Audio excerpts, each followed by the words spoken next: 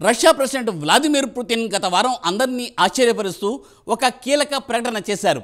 ప్రస్తుతం కొనసాగుతున్న Russia Ukraine యుద్ధంలో మధ్యవర్తిత్వానికి తాను ముగ్గురినే నమ్ముతానని అది ఇండియా చైనా బ్రెజిల్ అని ప్రకటించడంతో అమెరికాతో పాటు పాశ్చాత్య దేశాలు కూడా ఆశ్చర్యానికి గురయ్యాయి. వెంటనే మోదీని రంగంలోకి దిగి శాంతి చర్చలు జరపాలని ఎలాగైనా యుద్ధం ఆపించాలని కోరాయి. ఇక ఈ యుద్ధంలో రష్యా కావాలనే ఇండియాను వివాదంలోకి లాగుతోందా అన్న అనుమానాలు కూడా ఇప్పుడు వ్యక్తం అవుతున్నాయి దీని గురించి మరింత సమాచారం ఇప్పుడు చూద్దాం.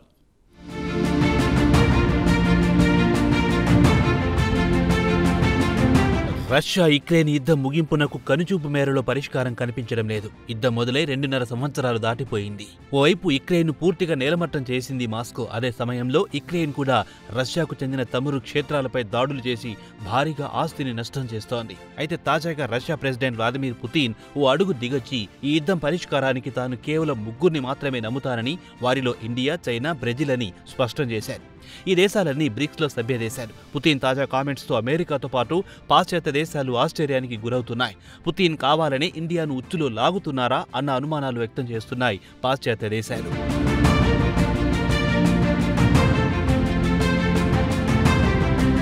ఇదిలా ఉండగా తాజా పరిణామాలపై అమెరికా విదేశాంగ మంత్రిత్వ శాఖ అధికార ప్రతినిధి స్పందించారు.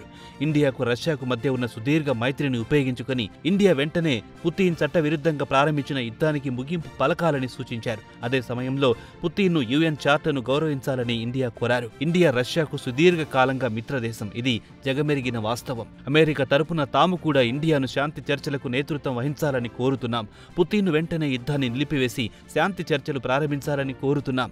పుతిన్ను యుఎన్ చార్టర్ను గౌరవించాలని అదే సమయంలో యుక్రెయిన్ సార్వభౌమత్వాన్ని గౌరవించాలని వారి భూభాగంలో జోలికి పోరాదని సూచించారు. భారత ప్రభుత్వానికి అటు రష్యాతో సన్నిహిత సంబంధాలున్నాయి. అదే సమయంలో అమెరికాతో కూడా సన్నిహిత సంబంధాలున్నాయి. ఇటీవల భారత ప్రధానమంత్రి నరేంద్ర మోదీ మాస్కో వెళ్ళి పుతిన్ను కలిసొచ్చిన విషయాన్ని మీడియా ప్రతినిధి ఒకరు మిల్లర్కు గుర్తు చేశారు. కాగా మోదీ రష్యా పర్యటనలో పుతిన్తో జరిగిన చర్చల్లో ఇరు దేశాల మధ్య ద్వైపాక్షిక వాణిజ్యం గురించి జరిగిన చర్చ గురించి ప్రస్తావించారు.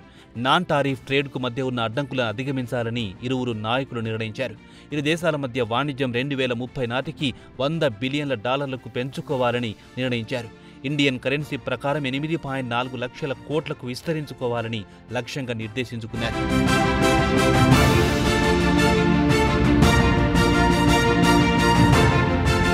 ఇదిలా ఉండగా మోదీ అటు పుతిన్లు ద్వైపాక్షిక సమావేశంలో స్వేచ్ఛ వాణిజ్యం గురించి ప్రస్తావించారు. అలాగే ఈఏఈయు ఇండియా ఫ్రీ ట్రేడ్ ఏరియాను ఏర్పాటు చేయాలని ఇరువురు నాయకులు సమావేశం తర్వాత సంయుక్త ప్రకటనలో ప్రస్తావించారు. అలాగే ఇరు దేశాల వాణిజ్యానికి స్థానిక కరెన్సీ ద్వారా లావాదేవీలు నిర్వహించుకోవాలనే ఒప్పందానికి వచ్చాయి. డిజిటల్ ఫైనాన్షియల్ ఇన్స్ట్రుమెంట్ ద్వారా మ్యూచువల్ సెటిల్మెంట్ చేసుకోవాలని అంగీకారానికి వచ్చారు మోదీ పుతిన్.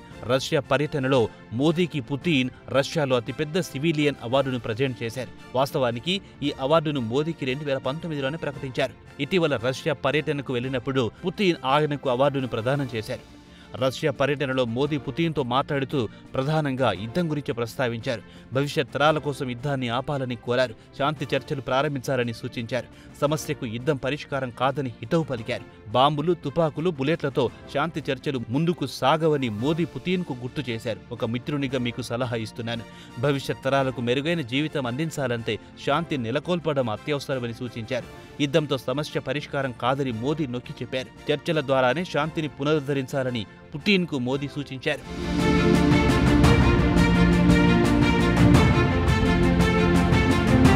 ఇదిలా ఉండగా యుక్రెయిన్పై రష్యా ఫిబ్రవరి ఇరవై నాలుగు రెండు వేల ఇరవై రెండులో యుద్ధానికి శ్రీకారం చుట్టింది. ఇప్పటి నుంచి యుద్ధం నిరాతకంగా కొనసాగుతోంది. యుద్ధంలో ఇరు దేశాలు భారీగా నష్టపోయాయి.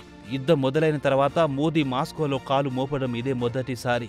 భారత్ ఎప్పుడూ శాంతిని కోరుతుంది. యుక్రెయిన్ రష్యాల మధ్య శాంతి చర్చలకు తాను చొరవ తీసుకుంటానని మోదీ చెప్పారు. అదే సమయంలో రష్యా నుంచి ముడి చమురు కొనుగోలు మాత్రం కొనసాగుతుందన్నారు ఇండియన్ పీఎం మోదీ. మానవత్వం ఉన్న ప్రతి వ్యక్తి యుద్ధంలో అమాయక పసిపిల్లలు మృతి చెందడం చూసి చలించిపోతున్నారన్నారు. ఈ విషయాన్ని మీతో పలుమార్లు చర్చించారని పుతిన్ దృష్టికి తెచ్చారు మోదీ. ఇటీవల పుతిన్ చేసిన వ్యాఖ్యలను దృష్టిలో ఉంచుకొని అమెరికా మోదీని వెంటనే పుతిన్తో చర్చలకు చొరవ తీసుకోవాలని కోరుతోంది. మరి పుతిన్ ఉద్దేశపూర్వకంగా ఇండియాను ఉచ్చులో లాగాలని చూస్తున్నారా అన్న అనుమానాలు పాశ్చాత్య దేశాలు వ్యక్తం చేస్తున్నాయి. రాబోయే రోజుల్లో దీనిపై మరింత క్లారిటీ వచ్చే అవకాశాలున్నాయి. అప్పటి వరకు వేచి చూడాల్సిందే.